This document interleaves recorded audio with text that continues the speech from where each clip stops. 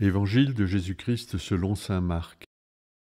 En ce temps-là, Jésus se rendit dans son lieu d'origine, et ses disciples le suivirent. Le jour du sabbat, il se mit à enseigner dans la synagogue. De nombreux auditeurs, frappés d'étonnement, disaient D'où cela lui vient-il?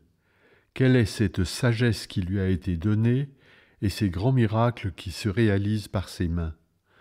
N'est-il pas le charpentier, le fils de Marie, et le frère de Jacques, de José, de Jude et de Simon? Ses sœurs ne sont-elles pas ici chez nous?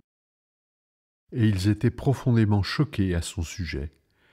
Jésus leur disait, Un prophète n'est méprisé que dans son pays, sa parenté et sa maison.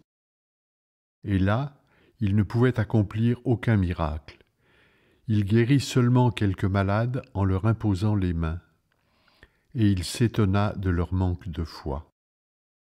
Alors Jésus parcourait les villages d'alentour en enseignant. Acclamons la parole de Dieu.